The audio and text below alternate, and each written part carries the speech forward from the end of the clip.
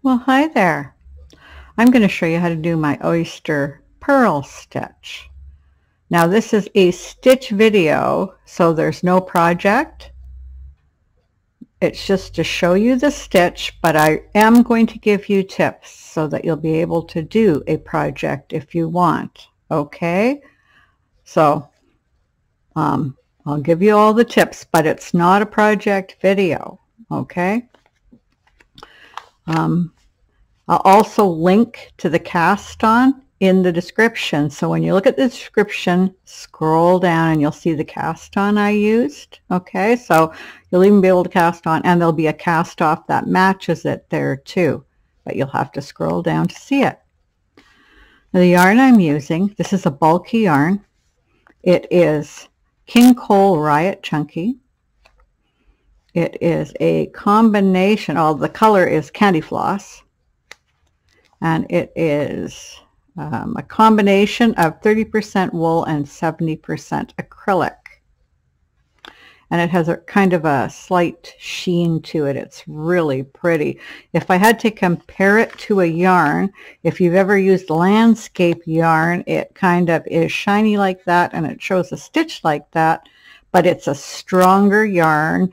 It binds off without kind of shredding um, like landscape can do, and it's a stronger yarn. So it's the one I've used to replace that, and I really, really like it. Okay, um, the thickness of it would be pretty close to something like Premier Puzzle Yarn or Barcelona. It's not a really thick chunky, it's a thinner chunky. Okay, and that's why I'm on a 5 8 inch gauge to do this instead of a three quarter. Although on the three quarter, the stitch would still come out good. But that's the yarn I'm using. And you can also use a fine, fine yarn with a thin gauge loom. The stitch looks good with that too, okay? Now, this is my loom hook. I got it from a company called We uh, Have a Handle on This, and I don't believe they um, have made them for quite some time now, but uh, she did tell me they were thinking of making them again, but they do have similar ones on Etsy, so you can find a loom hook this shape on Etsy. This one is wood, though. It's a painted wood. Okay. And uh, the loom is a 5 8 inch loom, CinDWood loom. 36 pegs. Okay. I'm only using 10 of the pegs, but this is a perfect pattern for a blanket. So you can make it really large, make it into a blanket, make it into a shawl, make it into a scarf. It has a lot of texture and in the round it looks pretty close to the same so you can match it. Okay, pretty close.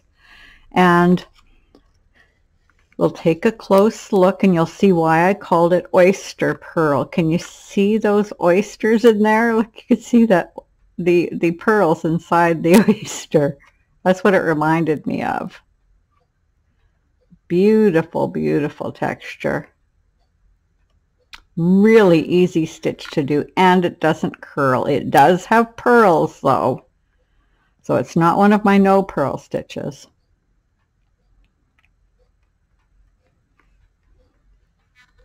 Oh, it really, really looks pretty cool. The other direction of it looks like this. It looks, it has a great look to it too. There we go, get it in the camera. And here is the, the nicer part of it too. Look at the flip side.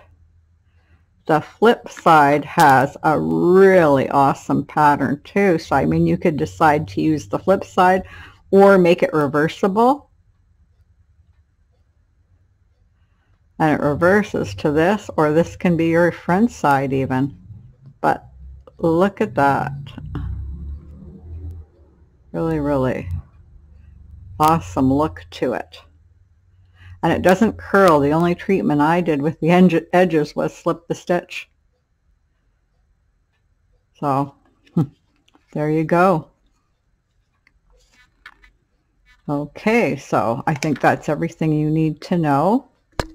Um, have a trouble with this cord here. Okay, so let's just get started. Okay? So it's two rows. This row, and I've just slipped the side, this row is going to be my magic twist stitch. Very easy, easy stitch. You go over in a U-wrap, and I'm going to get just a little bit closer here for you while I do this. While I show you the first few stitches. That might be a little bit too close. We don't want to get too blurry getting too close, but how about that?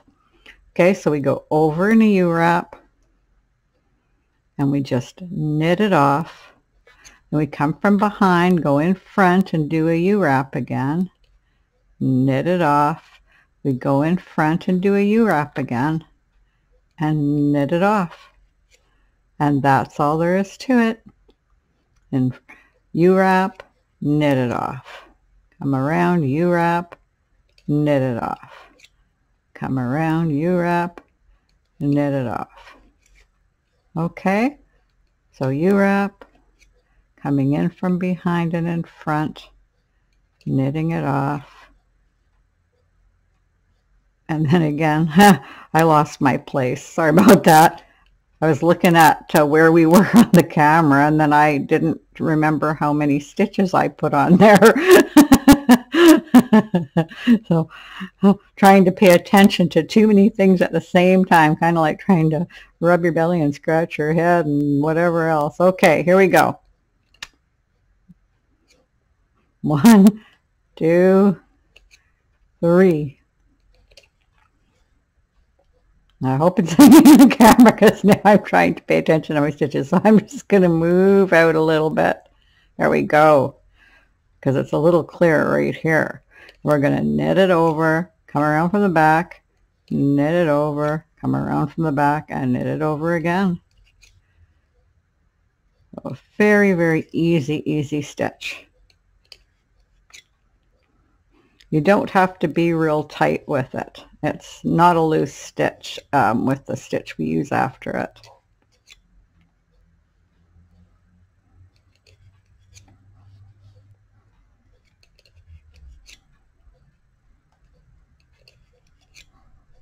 And the best part too is like you're putting three stitches on here so the work is growing really, really fast. So this will be a really, really fast project to knit.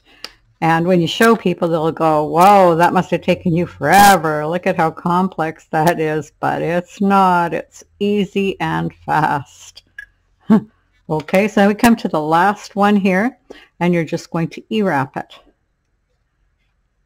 and that's it. Slip it.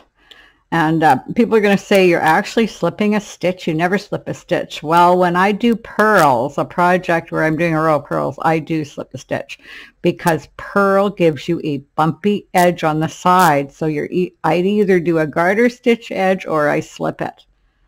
But when I do owl eye, of course, I do the, the edge I do because that one looks really nice and tight and good on owl eye. And owl eye isn't bumpy like that. So I do slip it when I use purl. It just makes sense because with this stitch, if you didn't slip the sides and you're doing this magic twist, you'd have a really weird looking thing there. So slipping, it's the best for this. Or you could do a big garter stitch edge. That would work too. You can do any edge you want, really. And I forgot to tell you how I cast on, which I said I would do. So I cast on with that crochet chain cast on and it just looks like this. It's a really nice look. I have the link, as I said, on, you just go to the description and scroll down, and I also have a link to the matching bind off, so you can match this. Okay? And the edges look exactly the same as this end because they're slipped. Okay? So that's what they look like. Pretty bright, isn't it, with this bright yellow? Okay. So there you go. Oh, and then after I cast on, I did two rows of owl eye. So when I cast off, I'll do another two rows of owl eye before I cast off. That was just to give it a nice base for the cast on to lay straight. And always do two rows of owl eye because if you do one, you could still curl. It takes two rows to balance the stitch, okay? All right, now the second row. Here's row two. Easy stitch, you probably already know. Um, not easy for all of you, but I did warn you there were purls in it, so some of you could just go, oh, don't want that stitch if you don't like purls. Okay, we purl. Row two is purl, so we just purl it. And you should know how to purl. This shouldn't be your first project with purl, but if it is, you take the working yarn and, and put it down. You take this and put it through just like the cast on that, that you're going to do if you've looked at my channel, but you put the loom hook through there. You scoop up the yarn to make another loop. So you got a loop here, and then you lift this off and put the loop back on. You slip it on over and you have a purl. Okay, so hook in, scoop up the yarn, replace it with the loop. Okay, hook down, scoop up the yarn. Okay, I'll do it with my left hand so you can maybe see it better. Go over and just replace it. Okay, that's all there is to a purl. Uh, people, some people have different methods. This is just the way I do it. You still have to make the same loop and put it over the peg, but some people move it over with their loom hook and all kinds of things.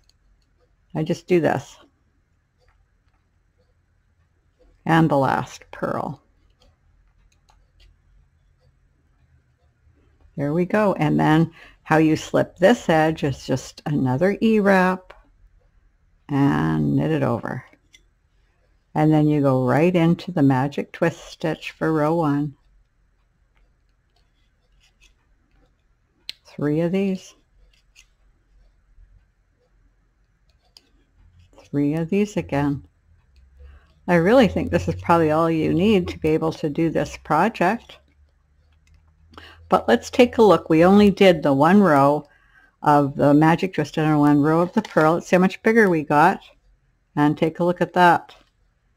It's quite a bit bigger. Okay, so let's take another look at this. And if you used, let's say you used a thinner um, yarn and it was more lacy, it would look more like this. So I'm opening it up. You can see it would look more like this lacy.